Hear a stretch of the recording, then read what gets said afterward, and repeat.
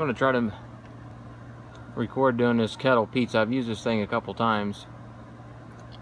I've got it all ready here. After a while, we're to make some pizzas. Basically, the chicken bacon ranch pizzas without bacon. I ain't got no bacon, so. But uh, I'll try this out and give a little quick view on it. And once you let this gauge over here, the temperature gauge, get all the way up there hot. Six and seven hundred degrees. But I noticed when I did the last couple times, it was burning the bottoms of the pieces. So I like to knock the temperature drop down a little bit. But uh,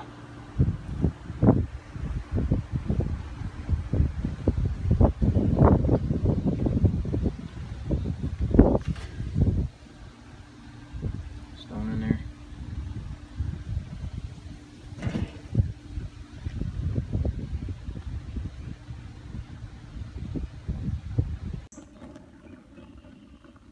Alright, I got the fire lit now. You're gonna want that to burn down until it gets good and ash. Then you put, uh, I got some oak here I'm gonna put on mine. A couple sticks. I got some more around the corner if I need it. So.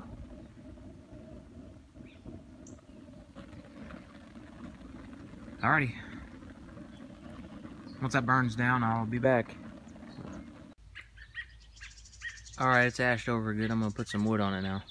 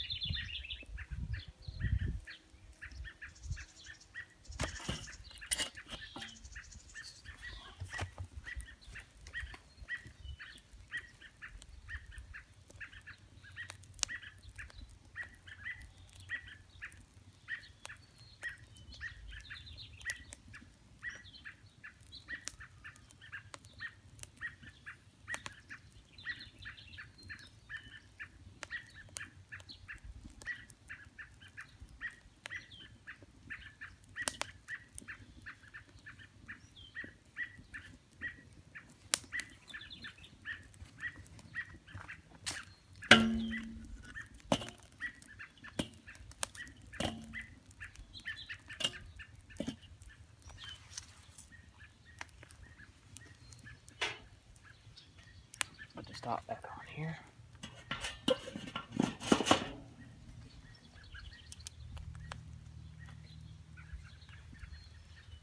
Alright, now we just watch that gauge.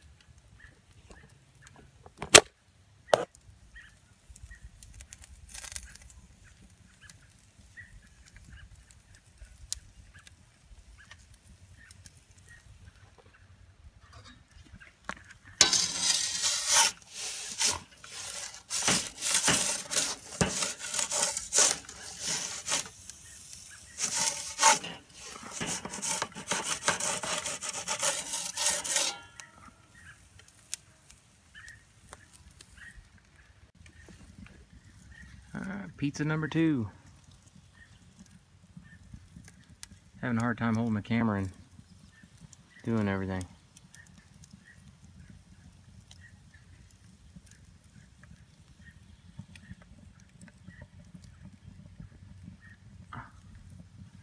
That old gauge is pinged past 700 degrees.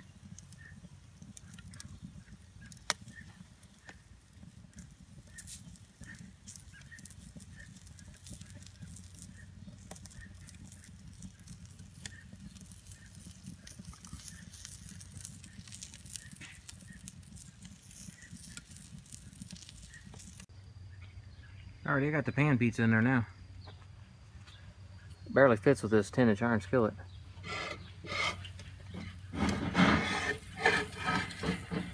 Look at that thing.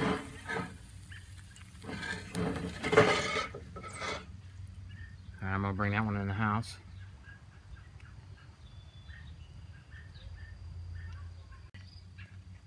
Alright, just stuck my last one in.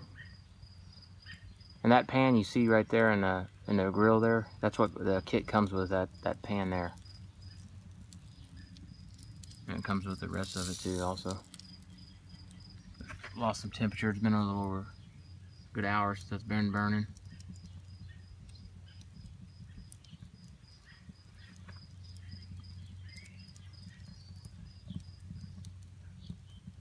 This is basically a chicken bacon ranch without the bacon.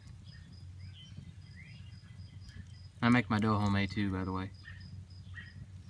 Nothing really fancy. I just follow some recipes online.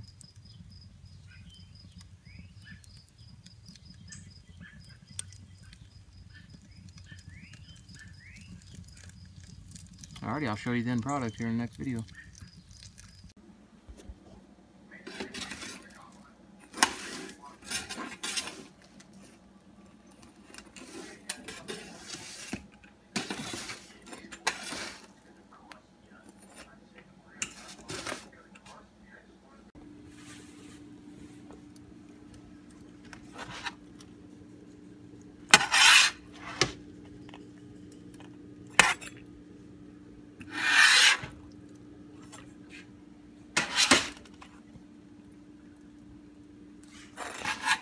That didn't get burnt.